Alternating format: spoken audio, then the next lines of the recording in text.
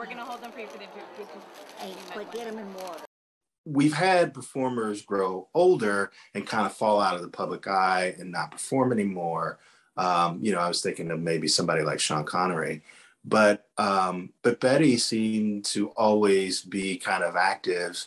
Um, you know, even as she got older, and and just someone. You know, we don't have many performers that connect us to the very beginning of television and i think that's that's part of why she was so special. Not only was she did she seem to be a great person and she did such a great job in every role that she was in um, she spanned sort of the life of television. Her career spanned from the very beginning of television all the way until right now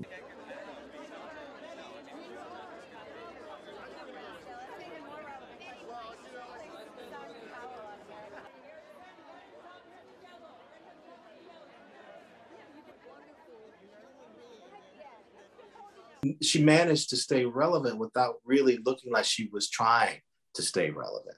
Like, um, you know, Joan Rivers, um, you know, would make a joke of how hard she worked to stay relevant. Like that was the joke for her. But for Betty White, she she ne- she never looked like she had to try. You know, all she had to do was sort of show up, and you expect one thing, and then she'd give you a joke to show, hey, now I know what I know what you expect, but here's where I am, and here's where the funny is and that was always I think I think people love that uh, about her. Right here, there. Great. Yeah. And look, and over here to John on your left. Betty, over here, please. Yeah, right there. To your left, please. To your left, please. That's awesome. Straight ahead, Beautiful. Straight ahead. Lovely. We didn't know a lot about her private life. Um, you know, she uh, never remarried. I think after Allen Ludden died. Um, but she was a stepmom to his kids. And um, we don't really, as far as I know, know very much about her passing, whether she was ill before it happened. Um, you know, she had a very clear demarcation. And even when we saw her do, you know, talk show appearances and stuff later in her life, you know, it was it was always about um, kind of entertaining people. It wasn't necessarily about just talking about herself.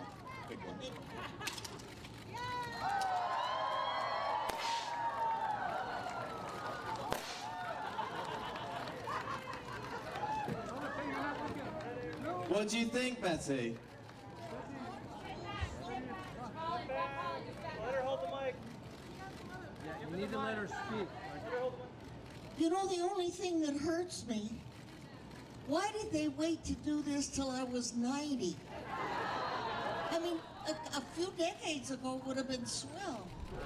She always seemed game for a challenge, and she always seemed up for doing something, a role or a bit or commercial, um, no concerns about, you know, whether it would affect her image or, you know, uh, is this going to make me look stupid or silly? You know, just wanting to be entertaining and being funny and and and and uh, and, and touching people with her work, which uh, again I think people admired quite a bit.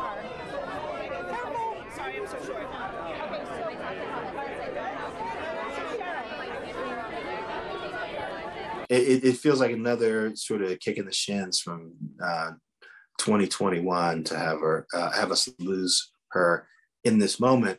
But you know what you have to do is is focus on all the great things that she left behind, left behind for us to enjoy. And you know we're the way media is configured now. Um, we have a greater capacity than ever before to go back and you know go on YouTube and look up her uh, game show appearances to see the Mary Tyler Moore episodes, to watch her on Golden Girls, to you know go on Peacock and see the uh, Saturday Night Live episode that she hosted. You know, there, there's so many different ways to experience her work, and and it's all there in in the digital library for us to access now. So you know, we just have to we have to concentrate on um, the great things that she left behind for us, and the fact that we can access it so easily and that we can spend so much time with her even now, even now that she's passed away. And and what I really enjoy is the fact that she remained in our hearts, she remained a beloved figure her entire um, through her entire career. You know, me to be working with you again. Oh, that is so sweet. Thank you, Rhoda.